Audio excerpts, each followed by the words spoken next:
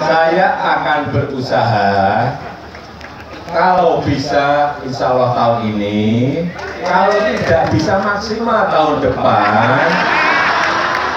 Karena ini harus dengan persetujuan DPR yang harus saya juga baru tahu dibisikin tadi dari Pak Menteri Agama kalau tahunnya tahun kemarin ya beda soal.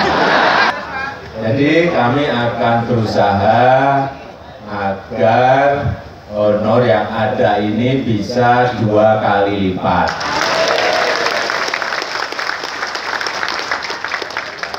Insya Allah harusnya harusnya DPR juga bisa menyetujui karena juga saya tahu nilainya nggak usah saya sebutkan.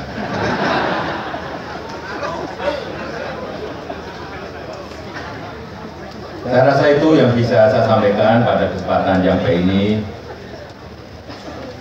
Sekali lagi, atas nama rakyat Indonesia, saya menyampaikan terima kasih atas fondasi yang telah Bapak Ibu dan saudara-saudara kontribusikan untuk negara ini, untuk bangsa ini, dan untuk Indonesia maju yang kita cita-citakan.